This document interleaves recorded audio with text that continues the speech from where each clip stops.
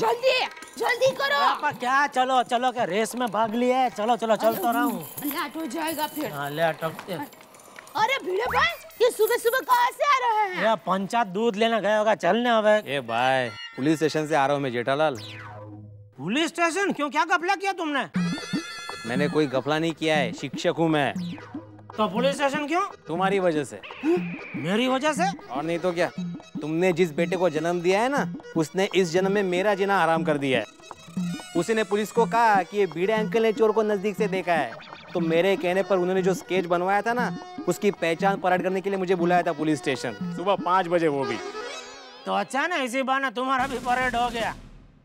अब चलो अब जल्दी करो। हाँ चलो चलो। आप सुबह सुबह कहाँ जा रहे हैं? हम लोग। अरे भाई कुछ।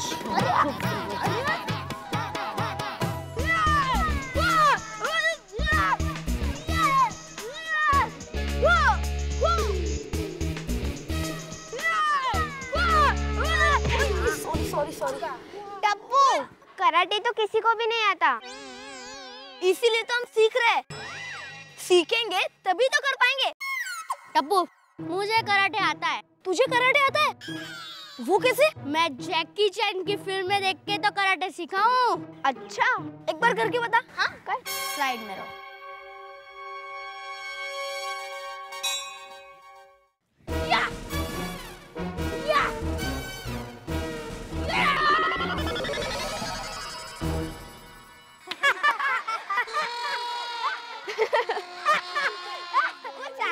आता है। अरे बच्चों ये सुबह सुबह क्या कर रहे हो? दादाजी हम यहाँ कराटे सीख रहे। हैं? हैं? कराटे? दादाजी कराटे नहीं कराटे। मतलब? दादाजी सोसाइटी में कोई भी चोर आएगा तो हम उनका सामना करके उसे भगा सकते हैं। हैं? हाँ। अरे वाह बच्चों वाह। जो अक्ल बड़ों में नहीं है वो अक्ल तुम में है।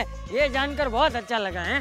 दादाजी अब देखना ये टप्पू सेना कराटे सीखकर पूरी सोसाइटी की रक्षा करेगी। क्या फ्रेंड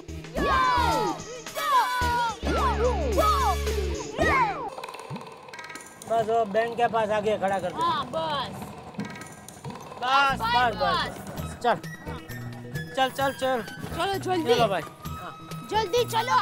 जल्दी चलो। एक तुम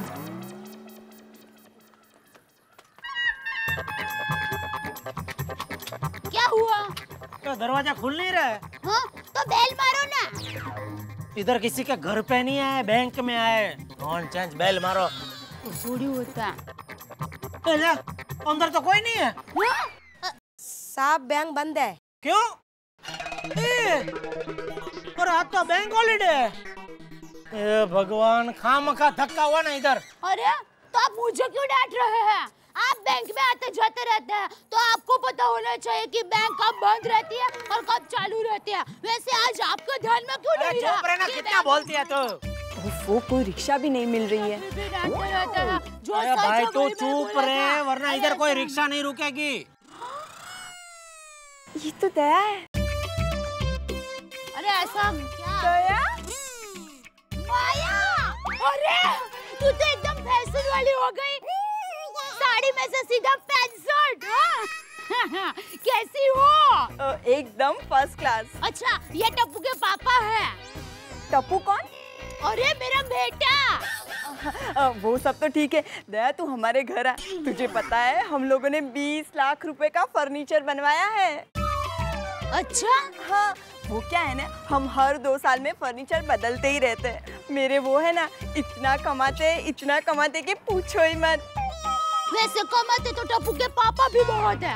अ, दया ये देख ये नेकलेस कैसा है? असली है? हाँ तो? पूरे नब्बे हज़ार का है नब्बे हज़ार। अरे ये तो कुछ नहीं। मेरे पास तो इससे भी महँगे गहने हैं। देख ये जो है ना ये सेट एक लाख रुपए का। अरे दो लाख का है क्या कर? रही दो लाख रुपए का है ये। और ये जो है ना ये सेट ये देख कितना महँगा है।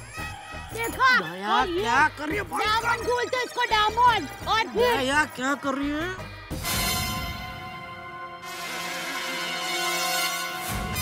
वो देखो वो देखो आदमी इधर देख रहा है। अरे तो उसमें क्या हुआ? देखने दो ना ये चोरी का माल थोड़ी ना है। आपने मेहनत से कमाया हुआ है। तो फिर और तुम्हें बताऊँ और भी सौ तोला सोना यही बैंक में पड़ा है ये तो बैंक बंद है ना इसलिए दिखा नहीं। और मैं क्या बताऊँ? पंद्रह तीस लाख रुपए तो घर में ऐसे ही रोकड़ा पड़े रहते हैं। चुप।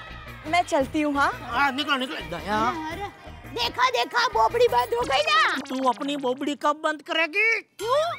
अक्कल है तेरे में अक्कल है। ऐसे बीच रास्ते में कोई गहने अरे जो सच है वही मैंने बोला है उसमें।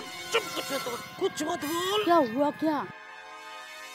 क्या कुछ क्या मत बोल। हुआ क्या चलो बाबा।